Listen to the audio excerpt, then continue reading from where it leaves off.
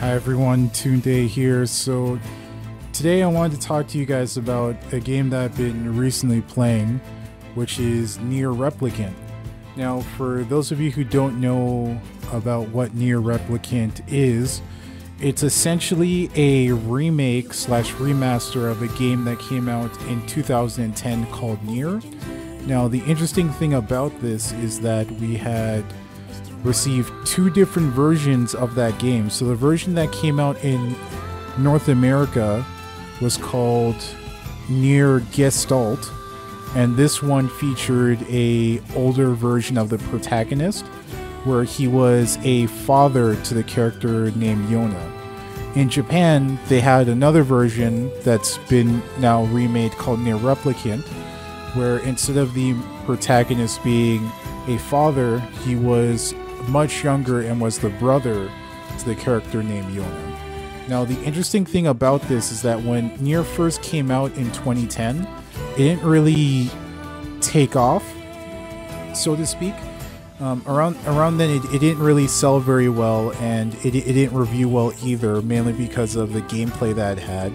Now, I did play about an hour of the original NieR, and I can I can attest to agree with the gameplay. Just really wasn't up to snuff with stuff that came out around that time. And then the NieR series didn't really blow up up until the game uh, NieR Automata came out in 2017, and that's when the game really got that that series on on the map. It got people talking about NieR. Uh, so much so that I'm pretty sure NieR Automata won quite a few Game of the Year awards uh, when it first came out. Now, back into this game, uh, so far I put about four hours into it. I gotta say, I, I do like it quite a lot. Like it, it now I know that uh, so far in terms of game releases, that has been fairly slow, but it, it looks like it is picking up. It is picking up now, and this game is quite excellent. Now, the storyline that takes place for this game is that it starts off with the protagonist and his sister both hiding out in a supermarket where it seems like the world has ended and they're both the last surviving humans in the world.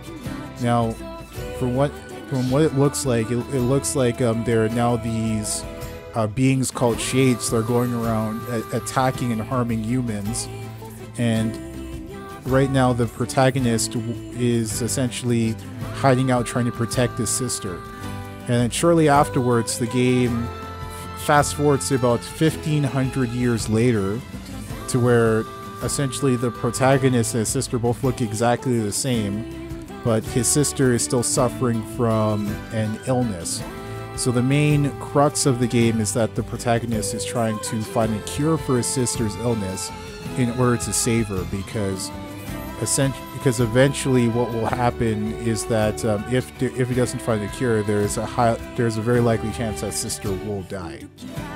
Now, moving on to the gameplay of this game, I gotta say, from after playing the hour of the original NieR, this the gameplay in this is severely improved. Like uh, the animations are much better the the feel of controlling the protagonist uh, and, and using attacks is, is much better. In, in the original NieR, uh, the you only had one attack button, and the way that the protagonist moved, it looked like he had never swung anything in his life. Like it, just it just looked very awkward and weird. It didn't feel good to control. And this one, it feels way way better. They've added way more combos, way more depth into this. So so you have your light light and uh, heavy attacks. So with that, you can chain together various different combo combos with them. Uh, also, depending on the weapons they get, those all have their own set combos also as well. Uh, the nice thing about this version too is that also has a parry mechanic. So if you do block an attack just when the enemy attacks you, it frees up extra hits. Uh, other parts of the co combat that has been added is that later on through the game you will find a book named uh, Grimoire Weiss.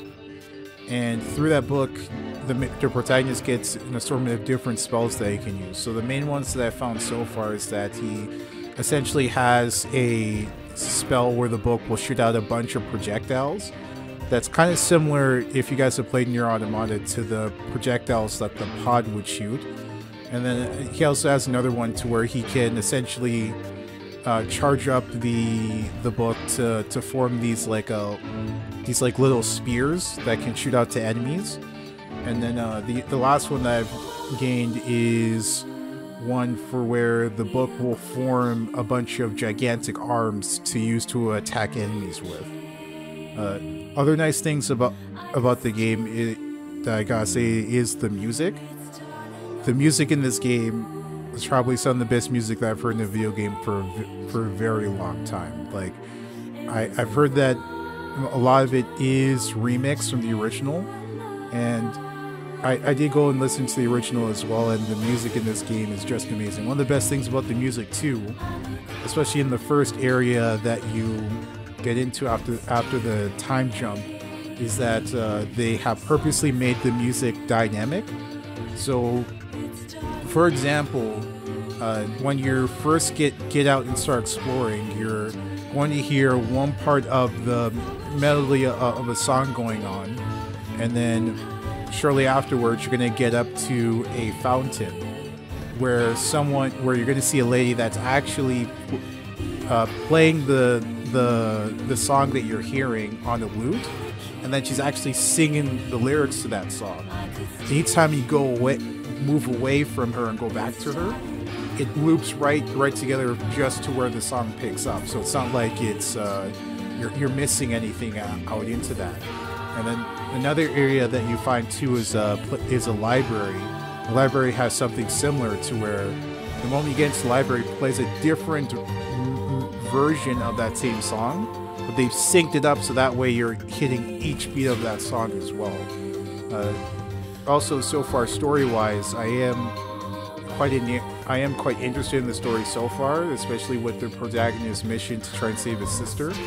I feel that the story in this is quite enjoyable and, and it is keeping my interest quite a bit. Now, I am probably going to continue to, to play the game and beat it.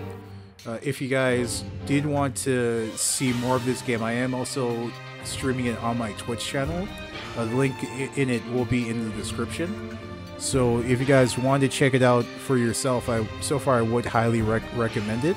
And if um, anyone has been playing uh, Nier Replicant so far and wants and uh, has some thoughts about it, please please leave your thoughts in the description. So yeah, this is.